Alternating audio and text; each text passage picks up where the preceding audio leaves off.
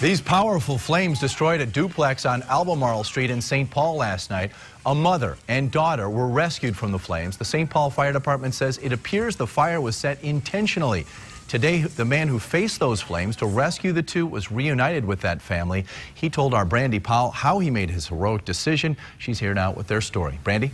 Well, Bill, this is a story of bravery, trumping fear, all in the name of kindness. We spoke one on one with Rick Johan, who says he didn't think he'd ever go toward that kind of danger, and a woman tonight filled with gratitude that she still has her sister and niece, all thanks to a stranger's help.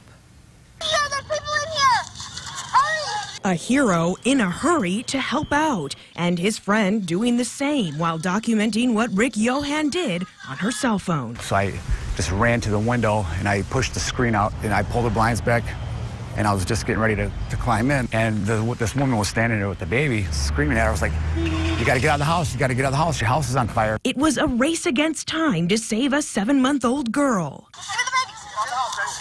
What does it feel like to have helped in such a dangerous situation?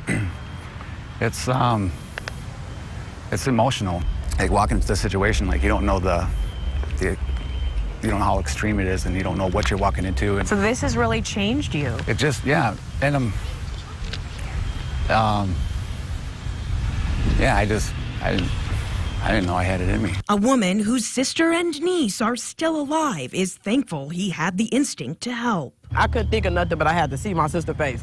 I got to see her. I got to see the baby. Her family still alive, but she's not without loss. How are you doing today? Not good. Not good. All of her belongings gone. To look at this now, what goes through your mind? Devastating. I mean, I didn't own it, but still, it was my home. And all of the people who spent time there are safe. I'm glad that everything's yeah. good and that you guys went in there and, you know, your sister and the baby's okay. He hopes someone would do the same for him. Thank you. Thank you. Thank you. A day of gratitude. By the way, her sister and niece are okay. Right now, they're at a relative's home trying to cope privately. The St. Paul Fire Marshal credits Johan with helping the mother and daughter to safety and says whoever set this fire could have killed them. Witnesses say two teenagers broke into the duplex and set a couch on fire using lighter fluid. There haven't been any arrests in this case so far. Bill. Thanks, Brandy. Two